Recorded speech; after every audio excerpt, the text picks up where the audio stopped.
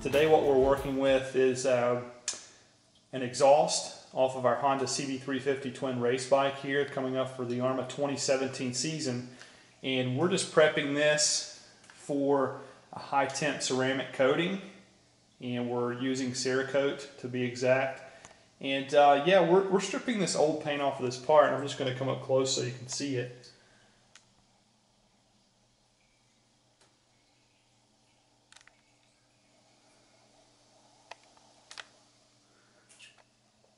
So we just dropped into the machine here.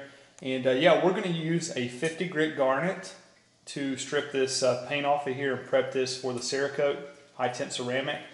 And you can just see how big this machine is. Um, this is a behemoth, four LED light bars. This thing lights up like a Christmas tree.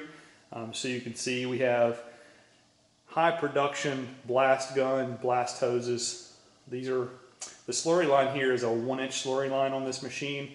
Um, you need about 40 CFM to run a machine like this. Uh, we have uh, feeding the machine on the back here a three quarter inch crowfoot connector so that we get the proper CFM to run the machine. But hey, let's fire this bad boy up and uh, let you see how this machine runs and how quickly we can remove this paint off of this exhaust system. So stay tuned.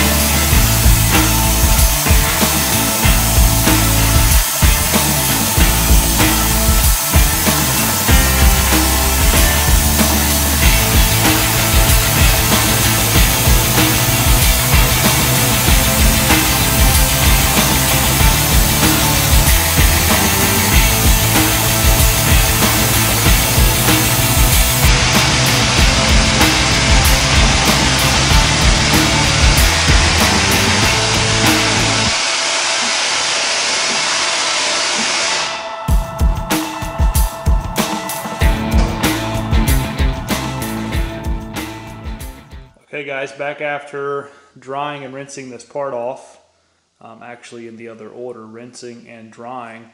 Um, what you can see here is a very, very clean part. Where wet blasting really excels um, is in these hard to reach pits and areas. This is where sandblasting really falls short um, in these deep little grooves and cuts nooks and crannies that you have in here. With wet blasting, it really flows across that surface and gets in those deep, tight spaces. But you can see how clean this part is. Uh, this is probably a little bit rougher than you're going to want uh, for, for these types of ceramic coatings. Um, however, this is a set of exhaust for a race bike, so we're not looking for show winning quality here. Um, we were really concerned about ripping this coating off so that we have good anchoring profile and good adhesion um, so that there are no coatings here to interfere with that. So again, this is a very aggressive process with garnet, the most aggressive you're going to have in a wet blasting system. However, it works. It works very fast and it works very well for applications such as this. Again, if you're processing ferrous metals like we just did today, um, it's best that you run a closed loop rinsing system um, so that's going to be one of the uh, fully loaded models that we have, one of the elite machines. Um, that way you can add a rust preventative, especially on larger parts such as this. You can imagine blasting one end and then moving to the other. By the time you get over here to this side, this part could be rusty. Uh, it could flash rust on you, which is not good if you're going to be coating this part afterwards. It could wreak havoc to the piece later on in life. Um, but again, yeah, add rust preventative to the machine.